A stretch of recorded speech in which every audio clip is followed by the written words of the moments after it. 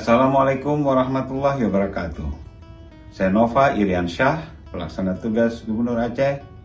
Atas nama pribadi, keluarga, dan pemerintah Aceh menyampaikan selamat ulang tahun bagi Harian Rakyat Aceh. Alhamdulillah selama ini kerjasama pemerintah Aceh dengan Harian Rakyat Aceh sangat baik dan media Harian Rakyat Aceh tidak hanya menyampaikan berita, tidak hanya menyampaikan fakta, tetapi juga ikut mencerdaskan bangsa, membawa pembaca kepada generasi maju, generasi yang lebih baik. Selamat ulang tahun Hari Rakyat Aceh.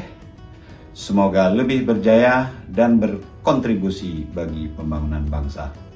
Wassalamualaikum warahmatullahi wabarakatuh.